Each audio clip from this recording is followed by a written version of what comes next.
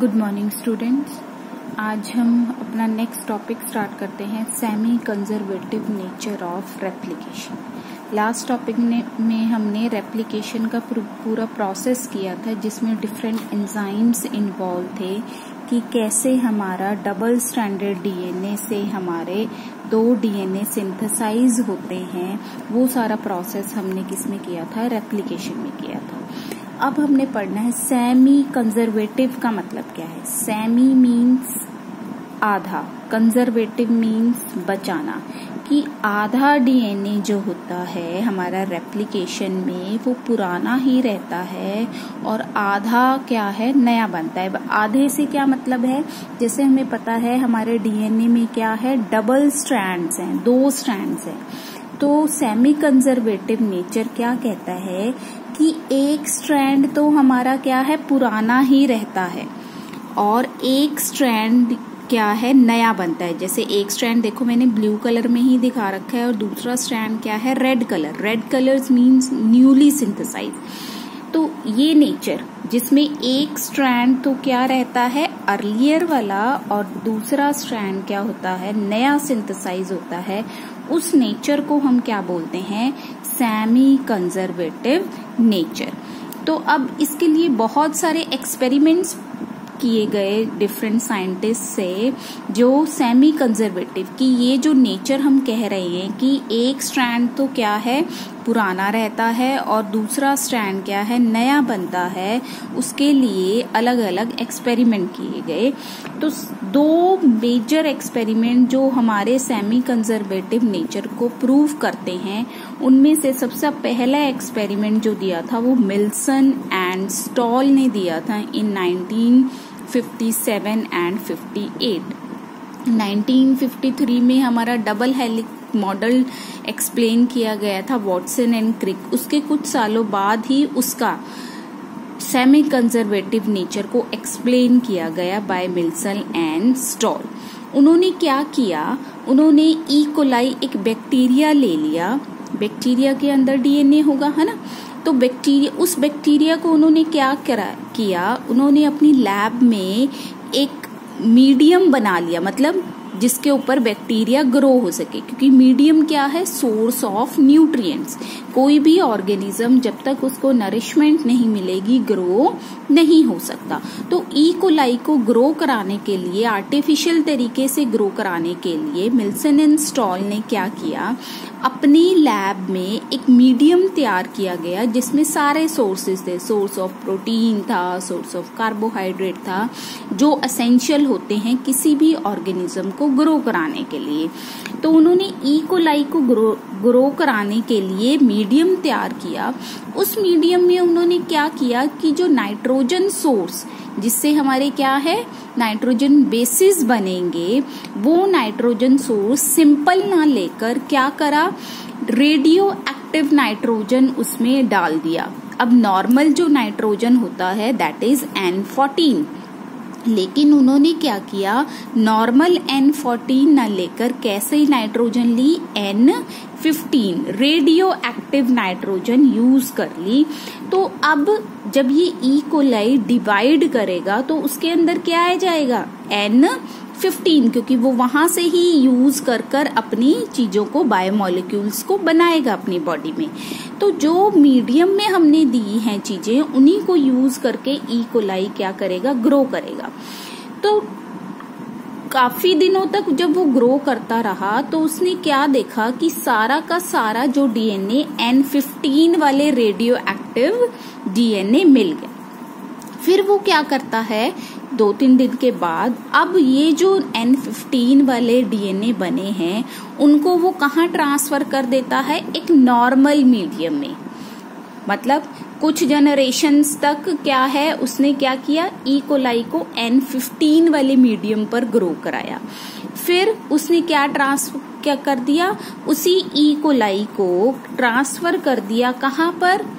Normal medium पर, जहाँ पर नाइट्रोजन का सोर्स रेडियो एक्टिव ना होकर क्या है, नॉर्मल है तो ये किया उसने। अब हमें पता है ई e. एक बैक्टीरिया है जो क्या है आफ्टर 20 मिनट्स डिवाइड करता है। मतलब 20 मिनट के बाद आप उसकी नई जनरेशन को देख सकते हैं। तो उसने क्या किया, पहली जनरेशन कंप्लीट होने पर डीएनए निकाला। मतलब जो बैक्टीरिया ग्रो करे वहाँ से डीएनए निकाला। फिर उसने अगली 20 मिनट के बाद दोबारा से ऑर्गेनिज्म डिवाइड कर जाएगा फिर दोबारा से डीएनए निकाला। उसने इस तरीके से कई जनरेशन तक किया मतलब 20 मिनट के बाद फिर अगली 20 मिनट के बाद फिर अगली 20 मिनट के बाद। तो उसने अप्रोक्सीमेट एक घंटे 20 मिनट में उसने आ, क्या ले लिया? सॉरी, एक अप्रोक्सीमेट एक घंटे में उसने क्या ले लिया? तीन जनरेशन को ऑप्टेन कर लिया। बात समझ आई? हम क्या कहना चाह रहे हैं कि मिल्सन एंड स्टॉल ने दो तरीके से ई e. कोलाई को ग्रो कराया। पहली बार उसने एन फिफ्टीन को लेकर ग्रो कराया, दूसरी बार उसने एन फोर्टीन को लेकर ग्रो कराया। और एन फोर्टीन को ग्रो कराने के बाद उसने क्या किया? कि जितना भी डीएनए था रेगुलर इंटरवल्स पर वो निकालता रहा। डीएनए को निकालने का जो प्रोसेस है, वो हम आगे हमारे चैप्टर आएँगे बायोटेक्नोलॉजी वहाँ पर पढ़ेंगे कि कैसे हम एक सेल में से डीएनए निकालते हैं। तो उसने क्या किया? E e. कोलाई से हर रेगुलर इंटरवल रेगुलर इंटरवल हम क्यों कह रहे हैं? क्योंकि जनरेशन जब तक कंप्लीट नहीं होएगी, तब तक हम रेप्लिकेशन के प्रोसेस को नहीं बता सकते। मतलब जब एक सेल से दो सेल ना बन जाए, तब तक हम क्या कहेंगे? रेप्लिकेशन का प्रोसेस कंप्लीट नहीं हुआ। तो एक सेल से दो सेल बनने में बैक्टीरियल सेल को कितना टाइम लग रहा है? ट्वेंटी मिनट्स तो हर ट्वेंटी मिनट्स के बाद उसने क्या किया? सेल को निकाला और वहाँ से क्या निकाल लिया? डीएनए निकाल लिया। तो ये चीज़ उसने कई जनरेशन तक करी और एक ग्रेडियंट बना रखा था। मतलब एक ट्यूब में सीजियम क्लोराइड सीजियम एलिमेंट और क्लोराइड का कंपाउंड भर रखा था उसने। और ग्रेडियंट बना रखा था। ग्रेडियंट का मतलब क्या होता है कि नीचे की तरफ़ भारी और जैसे जैसे हम ऊपर चले जाएँगे सीजियम क्लोराइड की कंसेंट्रेशन क्या होती चली जाएगी? कम। मतलब एक डिफरेंस क्रिएट कर रखा था। नीचे की तरफ़ ज़्यादा है मतलब हैवी चीज़ नीचे सेटल हो जाएगी और लाइटर चीज़ क्या रहेगी? ऊपर रहेगी। तो उसने एक ग्रेडियंट मतलब डिफरेंस क्रिएट कर रखा था सीजियम क्लोराइड का, जहाँ पर सीजियम क्लोराइड की नीचे की तरफ़ डेंसिटी ज़्यादा है और ऊपर की तरफ़ क्या है? कम है। तो ये एक ट्यूब में उसने ऐसे कर रखा था। तो जब भी वो डीएनए निकालता था, उस सीजियम क्लोराइड ग्रेडियंट में क्या है, उस डीएनए को एंटर करा डाल देता था और सेंट्रीफ्यूज करता था। ठीक है? तो वो, उसने क्या देखा कि सीजियम क्लोराइड जो डेंसिटी ग्रेडियंट था depending upon caesium chloride density जो डीएनए हमने निकाला है, वो कहीं ना कहीं जाकर सेटल हो रहा था, रुक रहा था। क्यों रुक रहा था? जहाँ पर उसकी डेंसिटी सेम हो गई। मतलब जितना बाहर सीजियम क्लोराइड का है, उतना ही उसका है डीएनए का तो वो वहाँ पर जाकर रुक जाता था फर्दर मूव नहीं करता था। तो उसने क्या देखा कि जब मैंने पहली जनरेशन में निकाला था तो बैंड कहाँ पर आ रहा था? थोड़ा नीचे की तरफ़ आ रहा था। 20 मिनट के बाद उसने सेंट्रिफिकेशन करी तो क्या देखा कि बैंड थोड़ा सा ऊपर आ रहा है। ठीक है? फिर थर्ड जनरेशन में उसने क्या देखा कि बैंड और ऊपर आ रहे हैं। इसका मतलब क्या था? अब एन जब 15 है एन फिफ्टीन और एन फोर्टीन में से कौन हैवी होगा? एन फिफ्टीन तो एन फिफ्टीन जब पूरा था इट इज़ हैवियर तो वो नीचे सेटल हो रहा था। जब उसमें एक जनरेशन कंप्लीट करने के बाद रेप्लिकेशन हुई तो उन्होंने क्या देखा कि एन फिफ्टीन से थोड़ा सा ऊपर चला गया। मतलब यहाँ पर डीएनए क्या हो गया है? लाइटर हो गया है, हल्का हो गया। इसका मतलब टोटली वो एन फिफ्टीन से नहीं बना हुआ। किससे बना हुआ है? एन फोर्टीन से बना हुआ है। फिर उसने अगली जनरेशन में देखा तो दो बैंड आए। एक बैंड जैसा हमारा एन फोर्टीन और फिफ्टीन वाला था। और दूसरा कैसा आया, उससे भी हल्का और ऊपर आया, जो टोटली किससे बना हुआ था? एन फोर्टीन एन फोर्टीन से।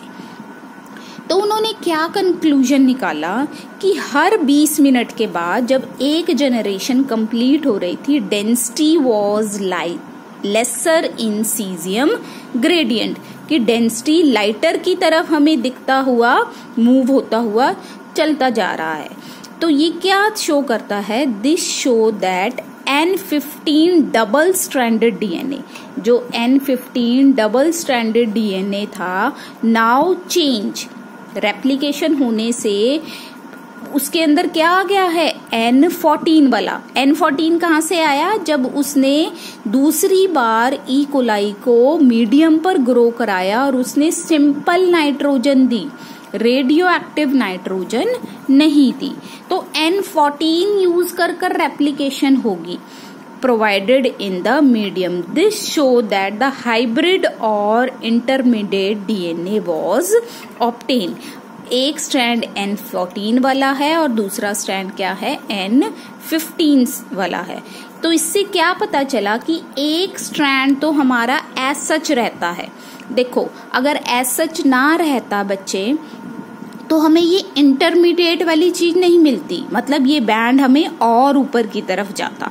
ये बैंड और ऊपर की तरफ़ जाता। ये बीच में आ रहा है। ये क्या शो कर रहा है कि डेंसिटी ना टोटली एन फोर्टीन फोर्टीन वाली है, ना टोटली एन फिफ्टीन फिफ्टीन वाली है। ये देखो, यहाँ पर डेंसिटी एन फिफ्टीन ये नीचे की तरफ़ है, ये टोटली एन फोर्टीन वाला है। ये और ऊपर की तरफ़ है।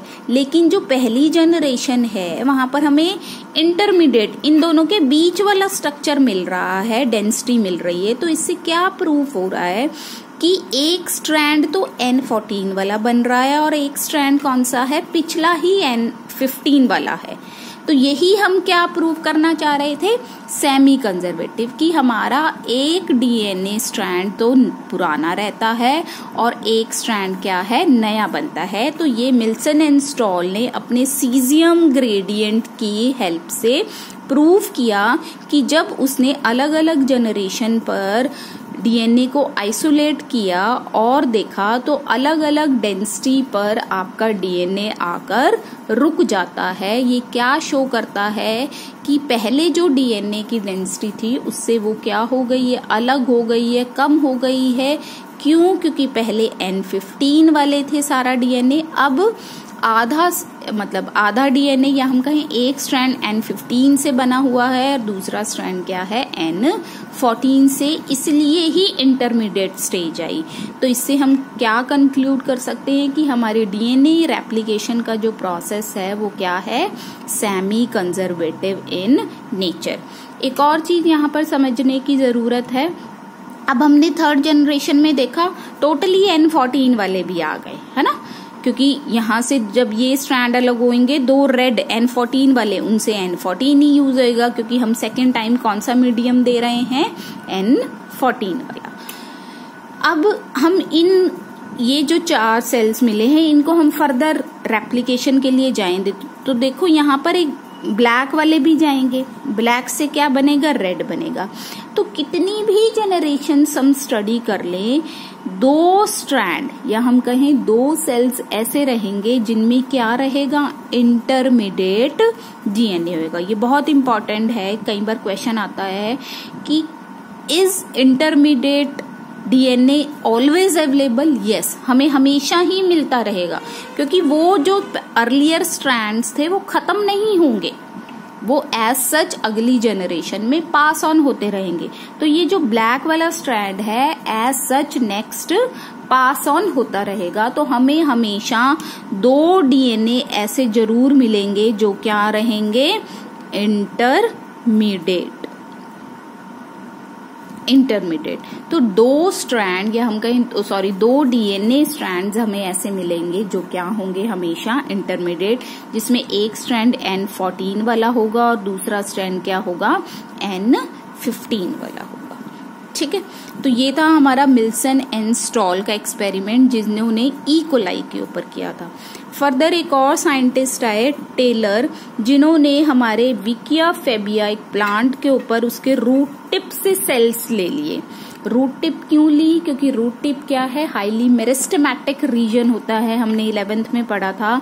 फास्ट डिवाइडिंग पार्ट होता है प्लांट का। तो उन्होंने रूट टिप के सेल्स को ले लिया और अपनी लैब में ग्रो कराया। ग्रो कराते हुए उन्होंने जैसे मिल्सन एंड स्टॉल ने क्या किया था? रेडियो एक्टिव नाइट्रोजन ली थी। यहाँ पर उन्होंने रेडियो एक्टिव नाइट्रोजन ना लेकर थाइमिन ले लिया।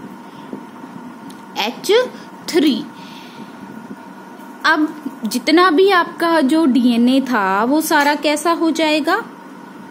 एच थ्री वाला रेडियो एक्टिव कई जनरेशन तक उसने उसको ग्रो कराया। फिर उन्होंने क्या किया? ये जो रूट सेल्स आए थे, जिनके अंदर रेडियो एक्टिव चला गया थाइमिन चला गया, उन्होंने नॉर्मल मीडियम के ऊपर ट्रांसफ़र कर दिया, जहाँ पर एच वन था। तो और क्या डाल दिया? कॉल्चिसिन। कॉल्चिसिन क्या है? केमिकल है जो हमारे क्रोमोजोम नंबर को क्या करता है? डबल कर देता है। क्रोमोजोम नंबर को डबल कर देता है। ये हम जब जेनेटिक मॉडिफिकेशंस करते हैं तो प्लांट में यूजुअली हम डीएनए के क्रोमोजोम के नंबर को बढ़ाने के लिए इस केमिकल को यूज़ किया जाता है। ठीक है? तो क्रोमोजोम का नंबर बढ़ जाएगा। तो क्या देख, क्या देखेंगे हम? जैसे और ये डीएनए था हमारा। तो हमने क्या देखा कि जब आपका नॉर्मल रेडियो एक्टिव वाला आपका एच थ्री था थाइमिन था तो आपको बहुत सारे स्पॉट्स दिखाई दे रहे थे। बहुत सारे स्पॉट्स मतलब सारे के सारे क्रोमोजोम्स में क्या है? रेडियो एक्टिव बहुत सारे स्पॉट्स दिखाई दे रहे थे, जब उसको क्या है? अल्ट्रा वायलेट रेडिएशंस में देखा गया। उन्होंने आइसोलेट नहीं किया डीएनए को। जैसे हमने पढ़ा था, भी मिल्सन एंड स्टॉल ने डीएनए को आइसोलेट कर कर फिर सीजियम ग्रेडियंट पर देखा था। उन्होंने ऐसा नहीं किया। उन्होंने क्या किया? उन सेल्स को अल्ट्रा वायलेट रेडिएशन में रख दिया। तो जहाँ पर आपका रेडियो एक्टिव थाइमिन था, वहाँ पर क्या है? स्पॉट्स दिखाई देने लगे। तो शुरू में ये स्पॉट्स क्या है? सब जगह दिखाई दे रहे थे। मतलब रेडियो एक्टिव पूरे के पूरे क्रोमोजोम्स में प्रेजेंट था। फिर हमने जब फर्दर उसको कॉल्चिसिन के साथ नॉर्मल मीडियम में ग्रो कराया तो क्या देखा, नॉर्मल मीडियम में ग्रो कराया और कॉल्चिसिन तो मीन्स रेप्लीकेशन स्टार्ट हो गई क्रोमोजोम नंबर क्या होने लग जाएँगे, अब डबल होने लग जाएँगे। डबल करने के लिए जो नाइट्रोजन सोर्सेज हैं या आपका थाइमिन है, वो कहाँ से आएगा? नॉर्मल मीडियम से आएगा।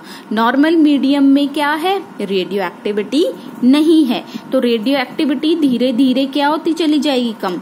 तो उन्होंने क्या देखा? पहली जेनरेशन में आपको स्पॉट्स क्या है? कम होने शुरू हो गए हैं। देखो, यहाँ पर स्पॉट्स ज़्यादा दिखाई दे रहे थे। ज़्यादा स्पॉट्स मीन्स रेडियो एक्टिविटी वहाँ पर ज़्यादा है। पहली जेनरेशन में उन्होंने क्या देखा कि स्पॉट्स थोड़े कम हो गए इसका मतलब कैसा स्ट्रैंड बनने लग गया है जिसमें रेडियो एक्टिविटी नहीं है। फिर फर्दर जनरेशन में देखी उन्होंने रेडियो एक्टिविटी एक सेल में तो आई ही नहीं। और दूसरे सेल में क्या हो रही थी?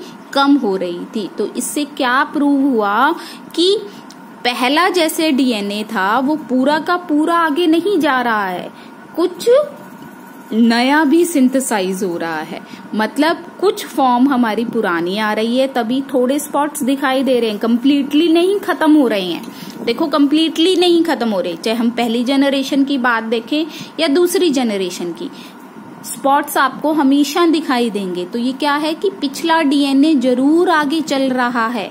चल रहा है, इसका मतलब क्या है? सेमी कंजर्वेटिव नेचर है कि कुछ पार्ट हमारा पिछला डीएनए का आता है और कुछ पार्ट हमारा नया सिंथेसाइज हो रहा है।